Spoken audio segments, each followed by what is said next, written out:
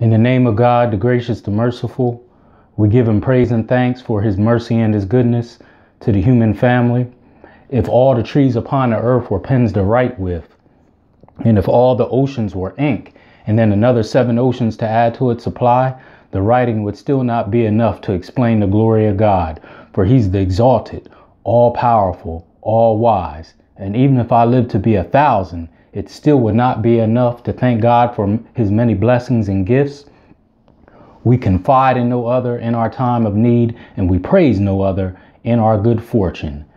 We thank the Most High, one and only God, for the Metu Neter, scriptures, oracles, and writings thousands of years before Judaism, Christianity, and Islam, the Metu Neter. We thank God for Moses in the Torah, Jesus in the Gospel, and Muhammad ibn Allah, peace be upon him, with the Quran. We greet everyone in words of peace. To my Christian family, praise the Lord. To my Muslim family, assalamu alaikum. To my Hebrew Israelite family, shalom. To my black conscious family, hotep. And to my people in the street, what's good with you? This is Brother Shareef once again coming to you on the YouTube channel Hour of Power Go to Hour of Power, Shareef Hamid. Subscribe and share to the channel. Subscribe and share to the to the channel. We have plenty um, interviews on this channel with key people in the community. Plenty ideologies that fit pretty much anyone's uh, um, ideology or background, and plenty timely messages to lift the mind, body, and soul of our people. Again, Hour of Power, Shareef Hamid. Subscribe and share.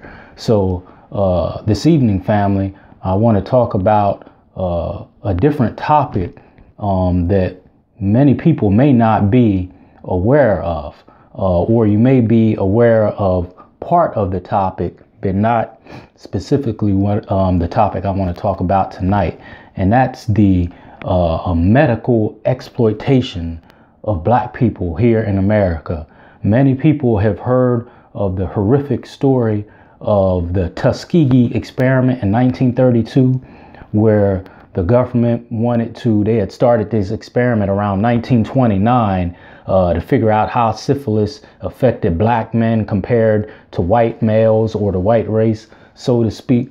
And uh, to make a long story short, because I know many of you have, have, have at least heard of this. Uh, they tricked 399 uh, males, black males, in um, Alabama there with this experiment.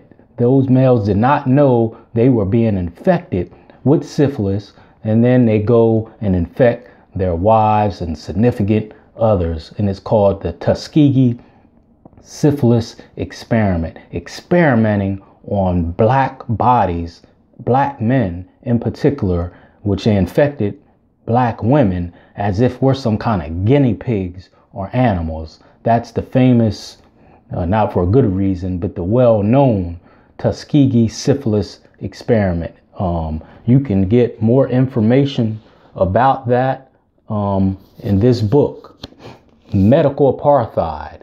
Medical Apartheid by uh, uh, Harriet Washington, Medical Apartheid it has documents and documents and documents in there about the medical experiments of black people, not just with the Tuskegee uh, syphilis experiment, but with things that will actually blow your mind. And again, that's medical apartheid, a must read for any black man, uh, woman, and child in America. Expose that kind of knowledge to your children because they're not going to teach it to them in school. Another experiment so to speak, that I want to let people know about is in the late 1800s with a man by the name of Marion Sims. I have talked about this before. His name is actually Dr. Marion Sims. It's a uh, um, a statue. We're talking about statues so much now with all this uh, uh, drama going on in Charlottesville, Virginia, with the statue of uh, General Robert Lee being removed, who was a slave owner. Well, just to show you how wicked this country is and how they celebrate slave owners and people who have oppressed and abused and mistreated black people there's a statue. They need to knock that one down too in Central Park in New York of Marion, Dr. Marion Sims. This man used to go from plantation to plantation. One of them was in Alabama in the late 18, mid 1850s. And what he did was he was uh, trying to perfect gynecology because the statue of him right now in Central Park in New York he is recognized as the father of gynecology. He was going from plantation to plantation practicing gynecology on black women. Actually, had people off the streets and his follow uh, uh, uh, uh fellow doctors, well, I call them henchmen, uh, pinning black women down on the table, putting forceps and tools up their vagina with no anesthesia. This Dr. Marion Sims. He did at least 30 um, uh, operations on a slave, black slave named Anarcha, a female slave alone. He did at least 30 operations on her alone, would pin her down on a table, spread her legs apart, and people would hold her down as he would go up in her vagina with forceps and tools. And she would be screaming and hollering, her and other slaves, but she's the most well known one because he did 30 operations on her alone. And even some of the people he had pinning her down saying, uh, Doc, don't you, uh, she's in pain. Listen to the way she's screaming. He said, No, that's just an act. These, these niggers have a high threshold of pain. They don't need no anesthesia.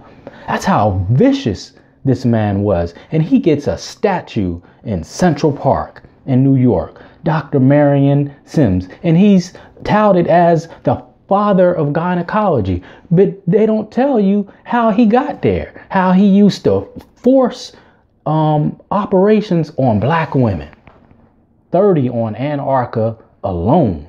And he has a statue in New York to show you how this country celebrates those who were slave owners and those who openly and had no problem with oppressing and mistreating and abusing black people. It ain't just about what's going on in Charlottesville, Virginia. Here in Durham, North Carolina, uh, some uh, protesters, so to speak, right? That's where I'm at in Durham, North Carolina, toppled down um, uh, a Confederate uh, statue. It's everywhere you go. It's either a street, a statue, a university, a university, a elementary school, something named after slave owners and oppressors and tormentors of black people.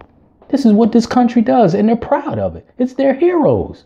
George Washington, Thomas Jefferson, Quincy Adams, on and on and on. The signer of the Declaration of Independence, on and on and on. A case I want to tell you about on top of those two is a place in Georgia, Augustus, Augusta, Georgia, called the Medical College of Georgia. The Medical College of Georgia. In 1989, es- um, uh, uh, construction workers was working on the east wing at this Medical College of Georgia. They were renovating it. And what happened was they start unearthing in this uh, uh in this part of the college and when they started digging because they was building a new wing they found 10,000 body parts 10,000 body parts in the east wing at the medical college of georgia in augusta in augusta georgia.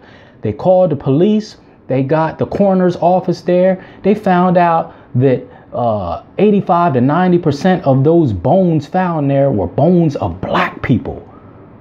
This is in 1989 we ain't talking in 1389, 1489, no four or five hundred years ago. This happened in 1989 at the Medical College of Georgia in Augustus, Georgia. In Augusta, Georgia, construction workers found 10,000 body parts, bones, and fragments there. And once the coroner's office got there, they found that these were mostly bones of black people. And then when they went into the writings, they found out that medical students there, they knew that a law had came up in 1887 that you were not allowed to go unearth people's bones for medical research. So what did they do? They hired a black man who was already a slave at this college and in that area since 1852. His name was Grandison Harris. Write this stuff down. Grandison Harris was a slave there on campus and in that area since 1852. He actually worked for the college for 50 years as an employee. Then he became a full time grave robber for the Medical College of Georgia. They hired this man. They had hired others, but he was the most well known one. Again, his name was Grandison Harris. Grandison Harris. They hired him to go to graves to unearth the graves of black people, and in particularly a grave called Cedar Grove Cemetery, right there close to the um, to the college. Why there? Because it wasn't well kept. Because back then, of course, it was segregation and it was no security or anything there. So he basically had his way. He could go into the cemetery, dig up bodies because the coffins were very thin. They weren't well constructed, they didn't have no vault to, to shut it like you have now. They were basically wooden boxes. He could dig up the grave, dig up the body, and then bring it back for medical research. And what they would do back then, laws were different. It would actually tell you what someone had died from in the paper. So, whatever their local paper was at that time, it would say, uh, Mr. Jones died of heart failure. So, if those students at the Medical College of Georgia was doing research on the heart, they would know what grave and what person to go to because they already knew what they died from because it was in the paper. Of course, because of privacy, they don't have that now, but you're talking about in the 1870s.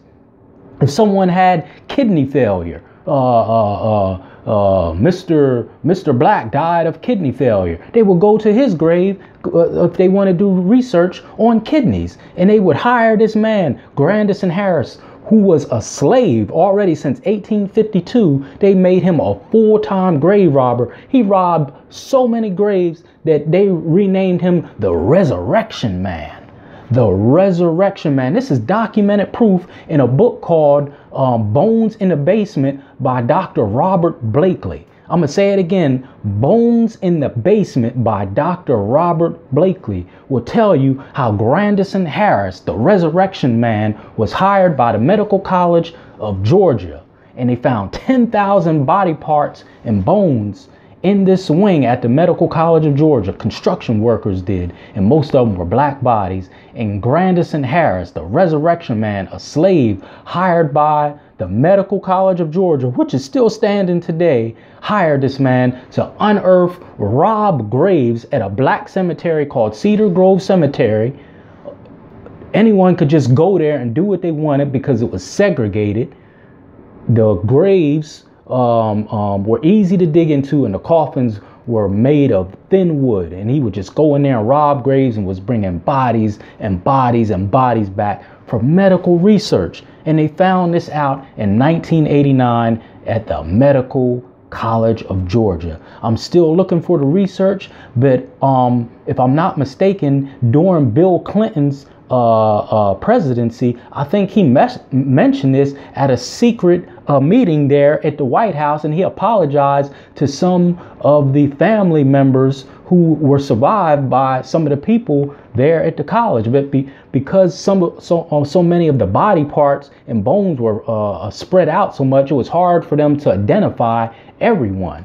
But don't quote me on that but I'm pretty sure I read it somewhere in an article that Bill Clinton actually mentioned this and apologized um, during his presidency. So again, the Medical College of Georgia, bones in the basement, 10,000 bones, hired a black man, a slave by the name of Grandison Harris, the resurrection man, to go to Cedar Grove Cemetery there in Georgia, off campus of the Medical College of Georgia, Augusta, Georgia to rob. He was a grave robber, a black man. And actually, if you Google uh, 1877 uh, class of 1877 at the Medical College of Georgia, you will see these students who uh, pushed him up to rob graves, and and you will see a black man at the top in the back of this uh, class picture, the class of 1877. That's Grandison Harris.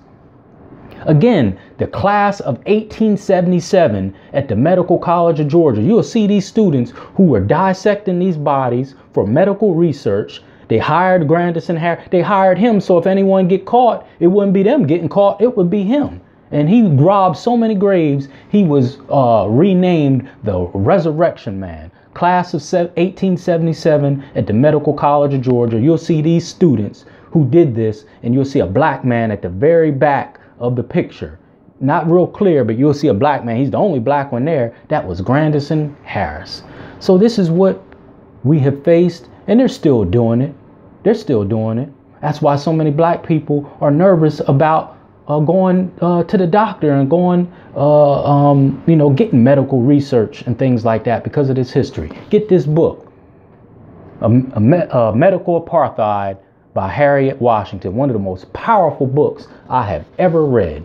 So, again, this is the Hour of Power with Shareef Hamid. Subscribe and share. Subscribe and share. I leave you all in words of peace. Again, research the Tuskegee syphilis experiment. Dr. Marion Sims, uh, uh, known as the father of gynecology, and Bones in the Basement by Dr. Robert uh, Blakely with the Medical College of Georgia in a class of 1877, where it shows a picture of the resurrection man, a black man, a slave, Grandison Harris. I'll meet you all in words of peace as I came. Go to that hour of power, subscribe and share. Assalamu alaikum.